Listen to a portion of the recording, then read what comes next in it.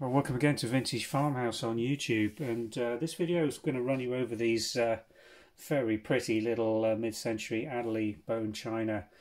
Halfway between a teacup and a breakfast cup this. It's uh, on the large side, and all the measurements will be on the website, but it's the actual condition of these that's really outstanding.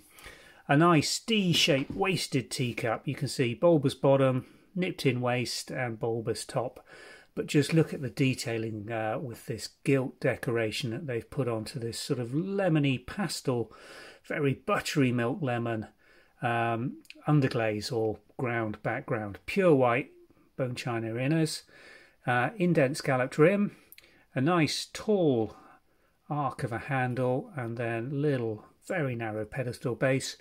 Adderley fine bone china, pattern reference H453 kindly put on there by the decorators. Lovely things, absolutely typical of the age. 1930s, 1940s, maybe a little later, but certainly of that style and decoration uh, really shouts 1930s, 1940s on these. Lovely, deep, round saucer plate. Again, very deep. Look at that side elevation. Indent, scalloped rims.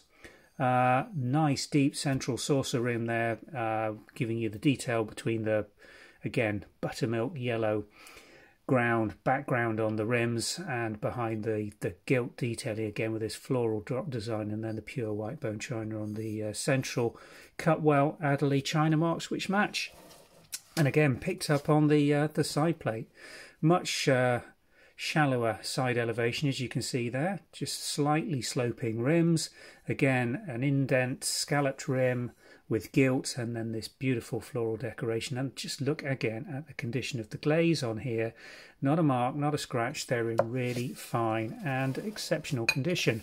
Very pretty lovely color combination. Just look at the way that gilt just lifts in this light box and reflects the light down from that lovely pale cream saucer lovely things these we've got two of them individually going on sale if you'd like to find out more details please click on the product link below and that'll take you through to the Vintage and Antiques website listing for these uh, trios. Thanks for watching.